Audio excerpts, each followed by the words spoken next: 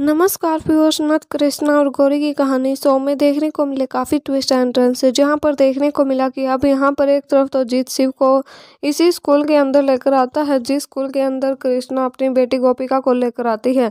तो यहाँ पर शिव और गोपिका दोनों का एक दिन ही यहाँ पर एडमिशन करवा दिया जाता है। तो फिर यहाँ पर जीत और कृष्णा की मुलाकात होने वाली थी, लेकिन वो दोनों एक दूसरे को देख नहीं पाते हैं।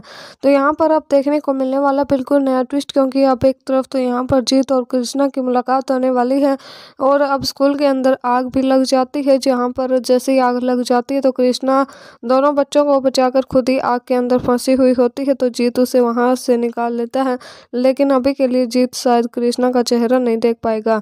तो अब यहाँ पर जल्द ही जीत जो है कृष्णा और गोपिका को अपने घर वापस लेकर आते हुए नज़र आएगा। क्यों लाएगा और क्या हो कि मतलब ऐसी मजबूरी कि कृष्णा को वापस अपने इसी घर आना पड़ेगा ये तो आने वाले एपिसोड से ही पता चलने वाला जहाँ पर एक बार फिर गौरी और कृष्णा के बीच शुरू होगी एक नई जंग, महामुकाबला होगा।